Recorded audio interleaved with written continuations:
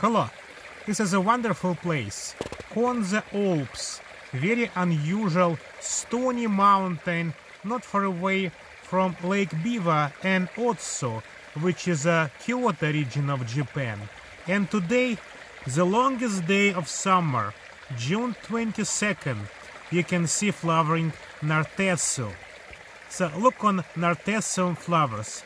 The very typical, like tulip-like monocot flowers with six members of perianths, six stamens. So that was the reason why in the past all plants with similar flowers were put in one big family Liliaceae. But even before the molecular research started to rise, people start to understand that Liliaceae, the lily or tulip family, is not at all homogeneous. Flowers, yes, flowers are similar, but everything else is so different. Then Narthecium was put in a different family.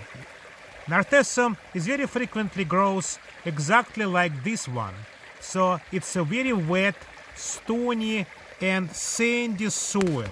And you can see the crawling rhizomes which will be crowned with very flat-ish shoots. Leaves are appearing distichously, like in iris, for example, in one plane.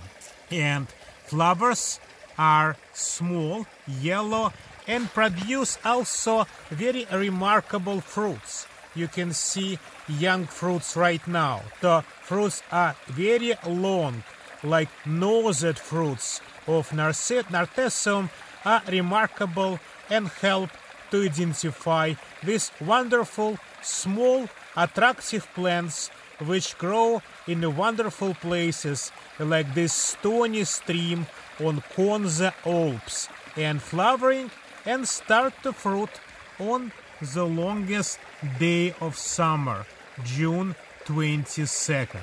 Thank you very much.